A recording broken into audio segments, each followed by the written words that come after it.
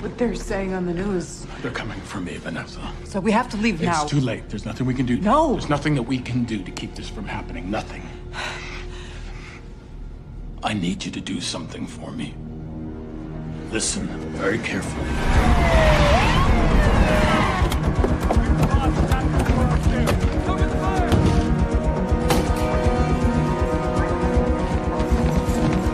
Do you understand everything I've told you? There's one more thing.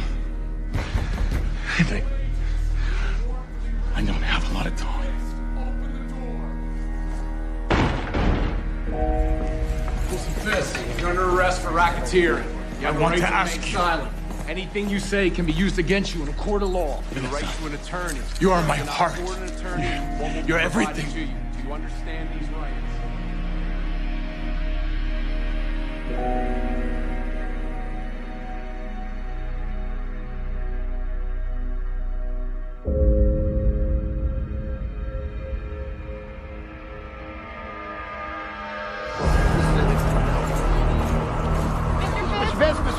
How do you respond to the allegations that you were involved with the Ranskahov brothers and that you were responsible for the bombing? Senator Kerry has stated that he will be exonerated by the facts. Do you feel the same? Mr. Fisk, what about your better tomorrow? Mr. Fisk, Any kind of statement, please, any statement whatsoever. Mr. Can you tell us what you know about the